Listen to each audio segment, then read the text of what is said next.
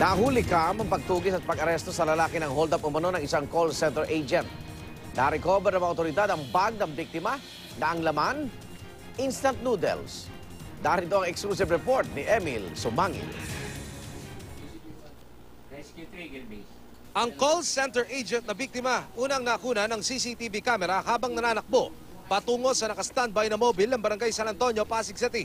Ang sumbong ng dalaga, hinold up siya sa kaba ng Shaw Boulevard. Pag-responde ng mobile kasama ang complainant, mabilis na itinawag sa command center ang holdapan. Saka pinamonitor ang crime scene para tuntunin ang suspect na ayon sa sumbong ay naka-leather jacket.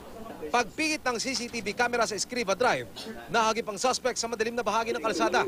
Di na niya suot ang leather jacket at unay tinangka niya itong iwan sa outpost ng traffic police. Pero tila nagbago ang isip. Itinapon niya ang jacket sa bakanting lote, saka naglakad papalayo. Dito na inalarma ng command center sa mga responding mobile patrol ang sitwasyon. Meron tayong subject no, wearing a black shirt and ano suspected uh, hold-upper to. Ah, pakitawagan na yung mga mobile barangay San Antonio, mobile natin barangay San Antonio. Toyota Innova ang sasakyan ng suspect. Lumabas siya ng Shaw Boulevard. Dito na siya hinabol ng mga otoridad. Pagsapit sa kanto ng San Miguel Avenue, dito na siya kinat ng mobil.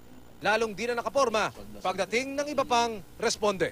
Arestando ang suspect na si Edilberto Patricio. Na-recover ang bag ng biktima. Laman ng instant noodles na inakala raw pera ng suspect. Ito ay sinundan mula sa kanyang pinagtatrabahuhan at inabangan. Pagdating doon sa may portion ng isang madilim na portion sa may uh, Shaw Boulevard, doon na siya tinutok. Actually, already coordinated with the Quezon City operatives. Maaring mailink to sa mga previous na hold-upan doon sa, sa Quezon City.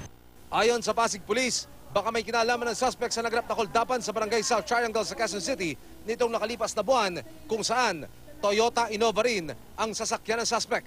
Malaking tulong anila ang CCTV kaya nasolve ang krimen. Sila po ay nag-aral po lahat ng mga profiling, mga galaw ng tao, ano ginagawa nito, Para sa unang balita, Emil Sumangil, reporting.